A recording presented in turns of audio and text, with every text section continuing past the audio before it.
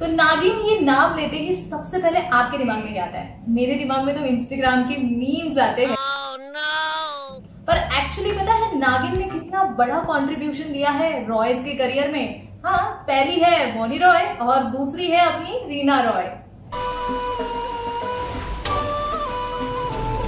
हाय मैं हूँ retro girl Gayatri और अपने बॉलीवुड में एक बात बहुत ज़्यादा फ़ेमस है और वो है नेगेटिव रोल को लेकर। हाँ जब भी विलन की बात आती है, कोई भी हीरो और हीरोइन का ऐसा कहना है कि यार नेगेटिव इमेज क्रिएट हो जाएगी, पर जब से शाहरुख खान ने काम किया डर में और अमिताभ बच्चन ने काम किया था डॉन में, तब से पता चल गया कि नेगेटिव रोल से भी बढ़िया करियर को हिट मिल सकती है।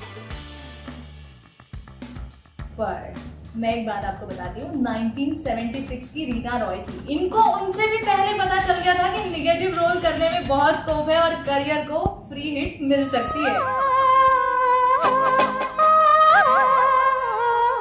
बात करते हैं 1976 में आई रीना रॉय की नागिन इस मूवी की। एक्चुअली आपको पता है, रीना रॉय की नागिन इस मूवी के अपने ही रिकॉर्ड है और वो रिकॉर्ड है कि सारे कलाकार और सबसे ज़्यादा कलाकार राजकुमार कोहली की नागिन इस मूवी में थे। और जहाँ सुनील दत्त फिरोज खान, जितेंद्र, विनोद मेहरा, कबीर बेदी जैसे बड़े बड़े कलाकार थे नागिन मूवी में वहीं पर बड़े बड़े एक्ट्रेस ने इस मूवी में काम करने से मना कर दिया। क्यों? क्योंकि रेखा ने तो वो कह दिया था डायरेक्टर साहब को कि देखो भाई साहब, इस मूवी में ना हीरोइन का रोल ऐसे हीरोइन टाइप नहीं है तो निगेटिव रोल है। तो मैं तो नहीं करूँगी। फिर उसके बाद स्क्रिप्ट गई आशा पारेख के पास। उन्होंने भी कह दिया कि नहीं मूवी के लास्ट में ना हैप्पी एंडिंग नहीं है तो मैं नहीं करूँगी। और फिर गई स्क्रिप्ट सायरा बानू जी के पास। उनको तो स्क्रिप्ट पसंद आ गई थी, पर कहना एक ही था यार निगेटिव रोल है।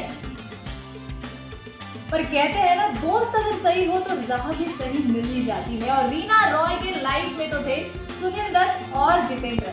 इन दोनों ने राजकुमार कोहली मतलब नागिन इस मूवी के जो डायरेक्टर थे, उनको सजेस्ट किया सीधा नाम रीना रॉय का। रीना रॉय ने स्क्रिप्ट पढ़ी और स्क्रिप्ट पढ़ते ही कह दिया कि मैं तो ये रोल कर रही हूँ। निगेटिव है, फिर भी मुझे ये रोल करना है।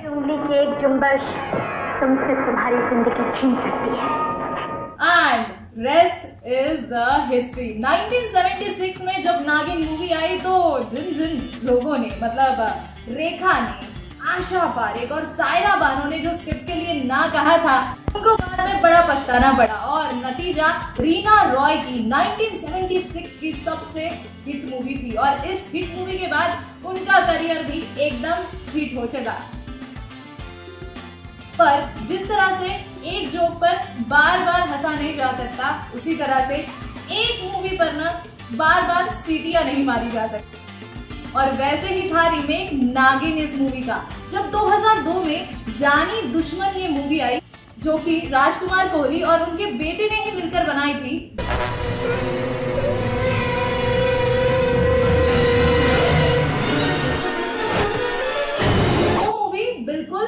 फ्लॉप हो गई। नतीजा क्रिटिक्स ने भी इस मूवी को ज़्यादा स्टार ही दिए। तो moral of the story is life में ना यार कॉपी भी बड़े ट्रिक के साथ करनी चाहिए। क्या है ना? एग्ज़ाम हो या फिर यहाँ पर। फेल हो जाता है इंसान।